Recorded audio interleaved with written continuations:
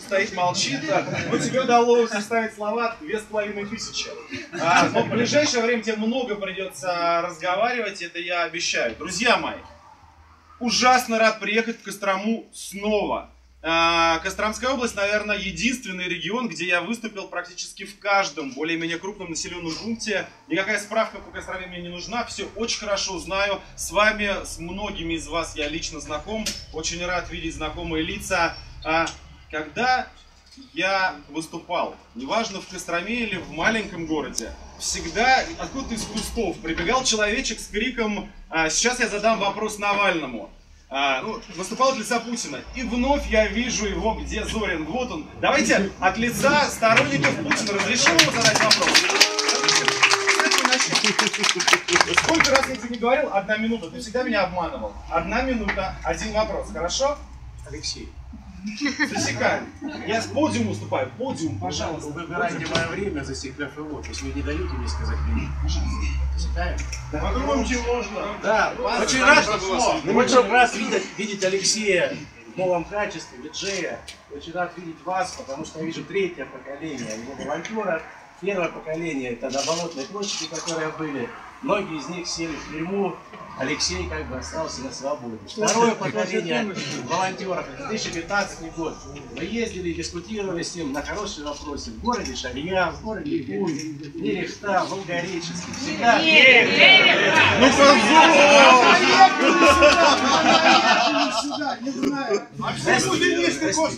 Приятно, приятно смотреть на вас. Вопрос к Алексею заключается в том, что никогда он не дает никаких гарантий. Ни гарантий безопасности, ни гарантии экономики. Например, с тех событий с Болотной, э, Костромских выборах и сейчас я изучал его декларации. Чем больше людей страдало, тем больше он зарабатывал. Он миллионер. Э, 7 миллионов в год примерно, Миллиардер. 7 миллионов в год он примерно зарабатывает. Сейчас он открыто сказал, что зарабатывает 8 миллионов, сказал. И сейчас он вас заставляет миллионер работать бесплатно. Все произойдет как на болотной. Вам придется отвечать, вам придет полиция. Он Призывает к тому, что выборы сейчас еще не начаты.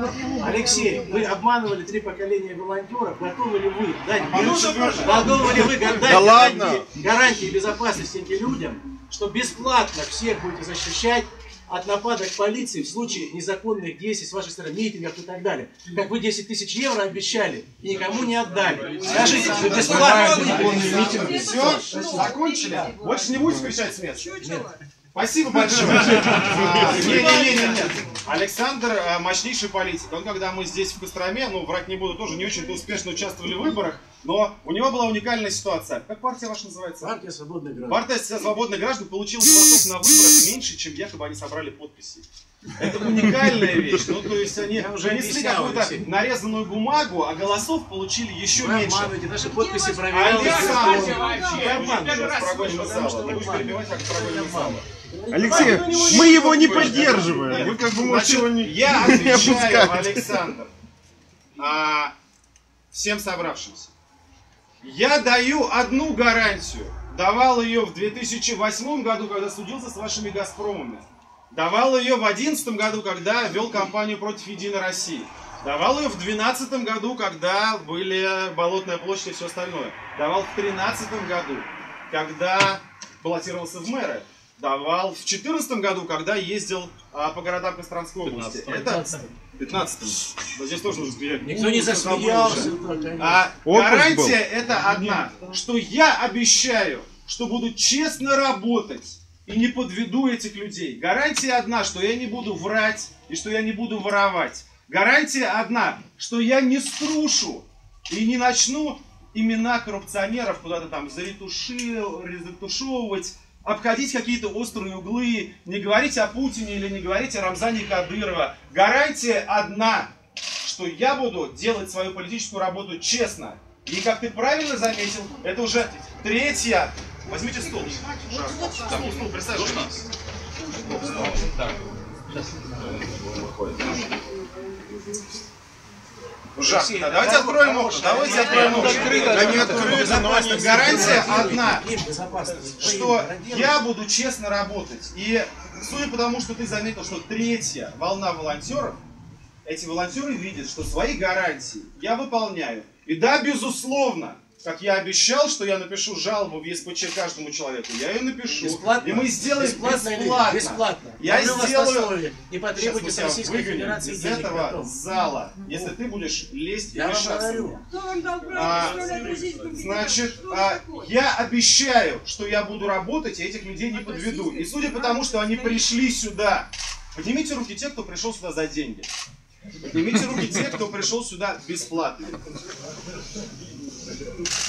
Дорогой Миллионер привел Александр! бесплатно людей. в рабский труд. Вот, понимаете, миллионер привел бесплатно людей. Они будут Ничего, бесплатно работать, кроме а вы будете лжи, богатеть. у них нет. Миллионер. Поэтому, а, давайте, друзья мои, Александр проходит к выходу, поскольку он а, обманывает и перебивает Я меня обманываю, постоянно. скажите, вы Спасибо миллионер? большое.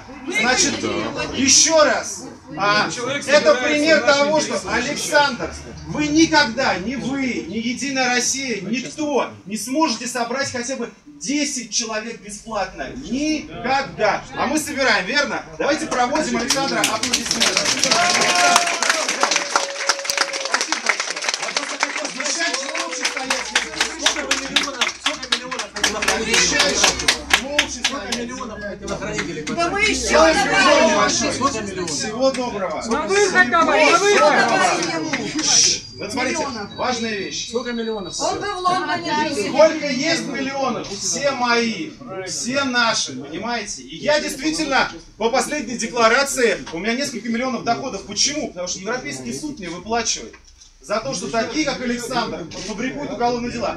Сашенька, дорогой мой, ну ты уважаешь жителей я тихо. Покидай, пожалуйста, наш зал. Помочь вывести. Обещаешь, не надо, Всё, не я надо, ни в коем сказал, случае. Это же такой мелкий жулик, который ждет, пока его толкнут, чтобы написать заявление в полицию. Будешь молчать, спокойно. Будешь говорить, отправим тебя в директор. Зачем мы ведем нашу избирательную кампанию? Потому что, ну, я уж извиняюсь, буду к тебе молчаливому апеллировать, раз стоишь в первом ряду, потому что такие, как Александр, такие, как Володин, такие, как Путин, все остальные, они пытаются нам доказать, что в стране все нормально.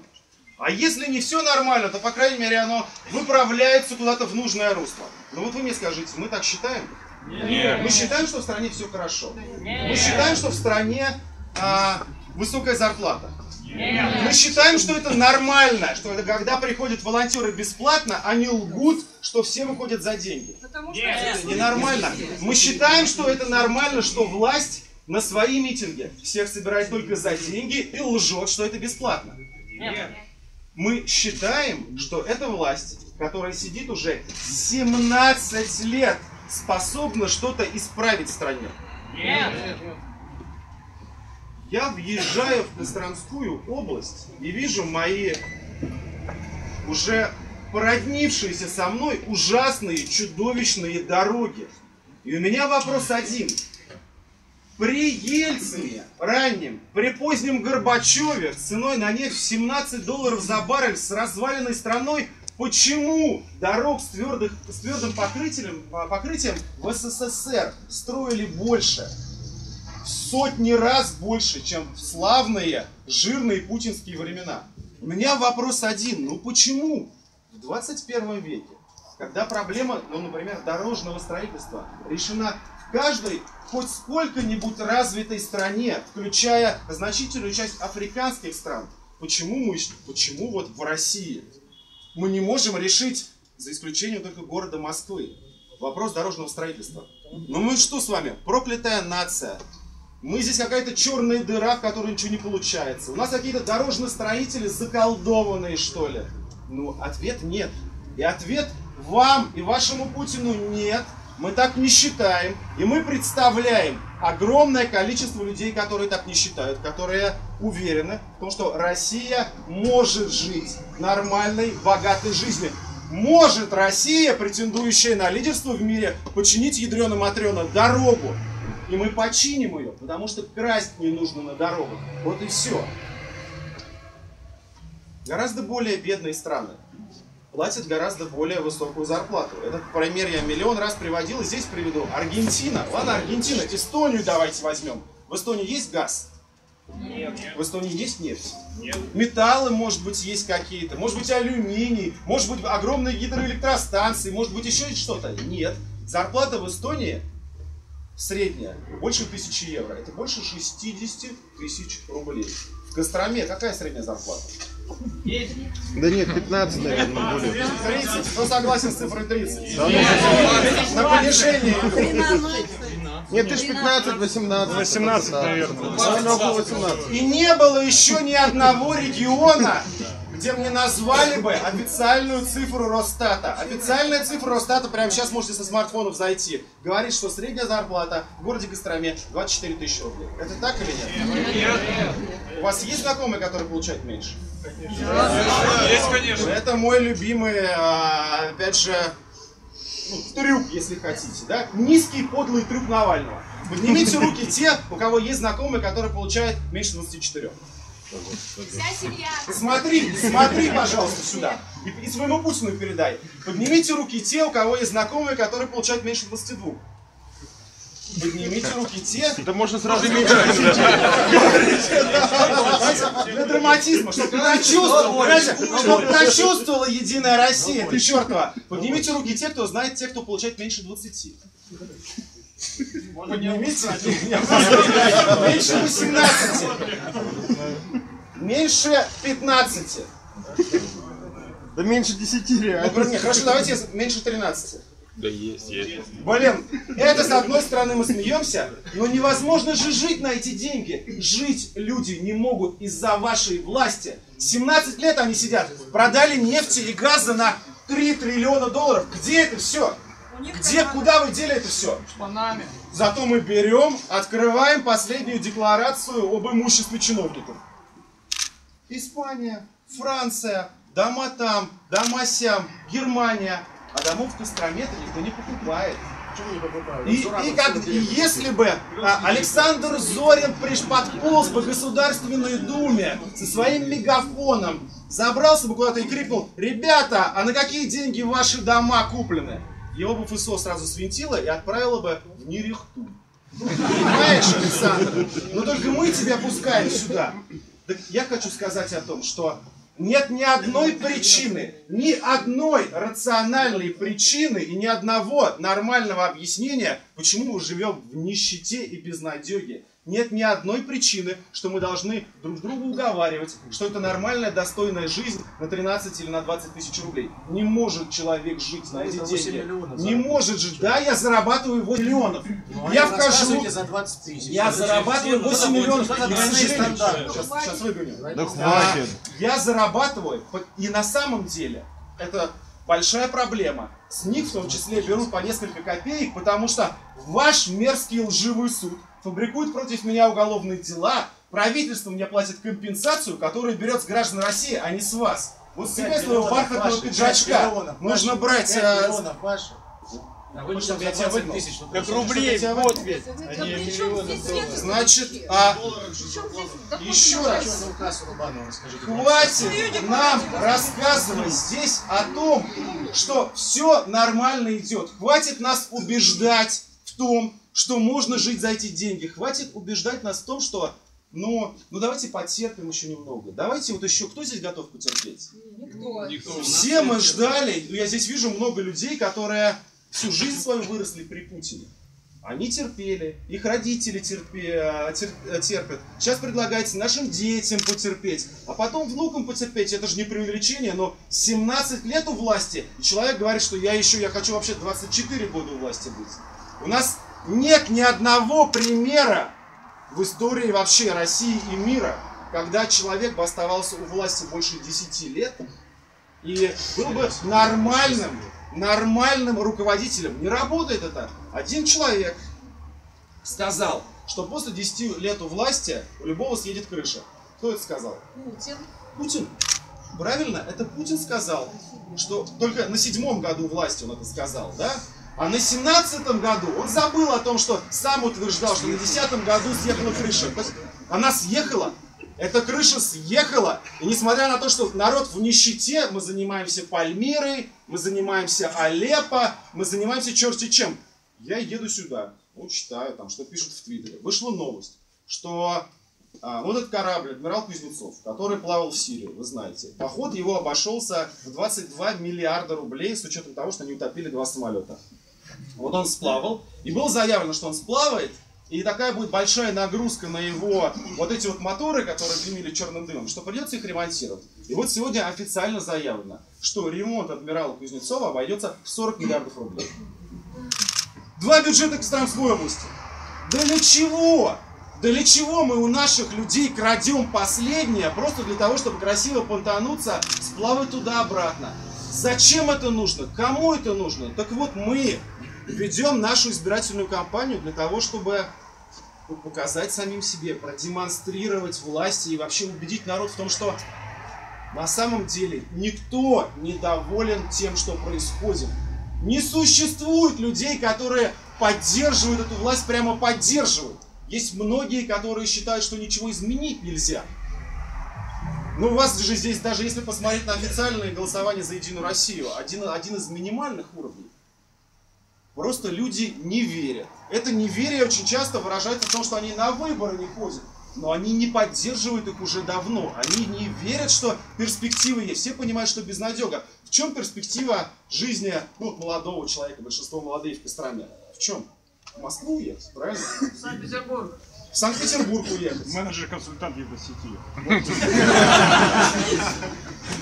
Ну, на самом деле, да, это такой как анекдот, а что мы скажем выпускникам лучших университетов? Два латте, пожалуйста. Вот так и работает российское образование. А вот скажите мне, вы, вы же здесь живете, где нужно работать в Костроме, чтобы получать зарплату 50 тысяч? Газпром. В Газпроме. УВД. Красный на Волге. Все. Красный на Волге, где клуб ювелир. Да. Да, ювелирком. Где еще? Думе. В Думе, да. Где можно? Он больше, он больше получает. Да нет, в IT-сфере можно заработать. В IT-сфере можно. А где можно работать в Костроме, чтобы получать 80 тысяч рублей? Чтобы получать, как в Эстонии, 65. Ну, есть в Газпроме можно работать, еще ну, можно бизнесом заниматься. Но это же не является нормальным стандартным развитием событий. Мы хотим построить страну, при которой, ну, обычный человек, который не бизнесмен, ну, он обычный, средний, тем не менее, он может жить достойно, он может закончить вуз, он может получить квартиру в ипотеку под нормальный процент, под 1%, как в Прибалтике, а не под 15%, как предлагают нам эти ребята. Он может нормально создать семью, а, и он не будет экономить на еде. Он не будет покупать себе обувь в кредит. И все, что мы предлагаем, ну это же не... Ну я же не говорю здесь, вот давай, давайте каждому сделаем, а, дадим миллион долларов. Как это делается а, где-нибудь в Саудовской Аравии. Или где-нибудь в, Катаре, где людям платит их часть нефтяных доходов. Я этого не говорю. Я не говорю, как Жириновский, дадим каждому женщине по мужику и так далее. Я говорю про простые вещи. Элементарные, простые вещи, которые обеспечили себе большинство развитых стран. Мы верим с вами, что и Россия может обеспечить. Поэтому мы и ведем нашу кампанию. И мы докажем всем, что есть нормальный путь развития, что мы не обречены. Ну, вы знаете, в 2015 году мы участвовали в кампании. Мы поддерживали партию чужую, партию Парнас, хотя были два, я считаю, хороших человека в списке, Яшин и Андрейченко. Но тем не менее, а, ну ничего не получилось тогда. По двум причинам. И мне на митингах об этом говорили. Говорили номер один. Ну, ты, конечно, нам загибаешь о том, что голосуйте все за Парнас в Костроме и жизнь преобразится. Но ведь а, без Москвы и без федеральной власти она не преобразится. И это была чистая правда. И люди отлично поняли, что на, на местном уровне голосуй, не голосуй, ничего ты не добьешься в отдельном взятом регионе. И нужно бороться за федеральную власть. Для победы над коррупцией нужно бороться за президентский пост. Для повышения зарплаты нужно бороться за президентский пост. Для возврата выборов мэров и губернаторов нужно бороться за президентский пост. За любые нормальные вещи нужно бороться в России за президентский пост. Это номер один, почему у нас тогда не вышло, а в этот раз у нас получится. А номер два, это то самое, что говорили мне люди, там, выступаешь в УЕ или в Шарье. И все тебе подходят и говорят одну фразу. Леша, классно все сказал. Классно прижучил этих наших начальников, но давай вот как бы сейчас там, не для протокола и без микрофона. Ты же понимаешь, что ничего не будет. Вот главная фраза, с которой мы будем бороться на этих выборах. В меньшей степени с Путиным, в большей степени с неверием людей. Вот нас убедили, они и мы сами себя убедили, что ничего нельзя сделать, невозможно ничего достичь. Вот эту мысль о том, что все можно изменить, потому что изменили везде. И везде уровень жизни растет. В Аргентине минимальная зарплата 500 долларов, хотя страна беднее, чем здесь. Минимальная зарплата установлена в любой развитой стране. Кору с коррупцией борется по всему миру эффективно. В каких-то странах, которые казались проклятыми с точки зрения коррупции, типа Грузии, даже там есть подвижки. Поэтому вот мы должны идти сами из этого помещения, выйти ну, возможности, зарядившись уверенностью в том, что мы сможем всего добиться, и людям объяснить, что ребята, всего мы можем достичь.